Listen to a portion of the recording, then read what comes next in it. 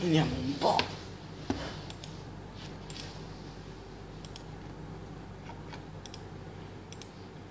Ufficiale Fidelef torna a Napoli.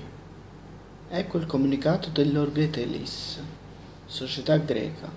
Pae Egotelis annuncia la scadenza del prestito per un anno del giocatore Ignazio Fidelef dal Napoli. Lo ringraziamo per il suo contributo alla nostra squadra e gli auguriamo ogni successo nella sua carriera. Per il difensore argentino sette presenze e un gol con la maglia giallo-nera retrocessa nella seconda divisione greca. Fidelev torna a Napoli. L'Ergotelis lo ringrazia per il suo contributo alla loro squadra.